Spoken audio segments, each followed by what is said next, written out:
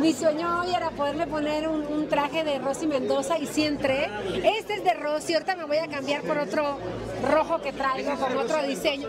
Este es de Rosy, entonces su hija me habló y me dijo, Ra, que aunque sea para cuando pases la alfombra, que, que te vean los compañeros periodistas, les va a dar gusto y a mi mami más, que te quería mucho. Y le dije, claro que sí, sí entro. Pero sí entre la, la chaquetilla, mira, y la falda. Mira qué bonita. Y el traje es de Mitzi.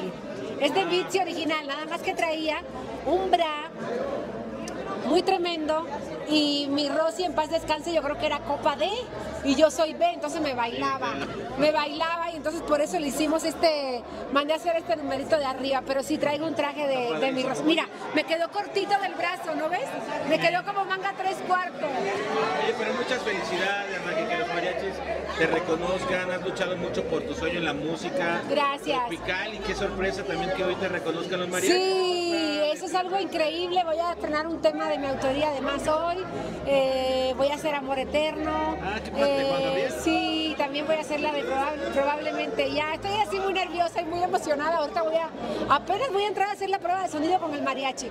Pero para mí es, un, es una noche especial. Estoy cumpliendo 30 años en México y con esta celebración por todo lo alto, muy, pero muy contenta. Padre Raquel, oye, ¿a quién le dedicas este logro? Porque pues al final arrancas con el pie derecho, el año pasado trabajaste mucho con la dinamita, con tus shows que no paraste.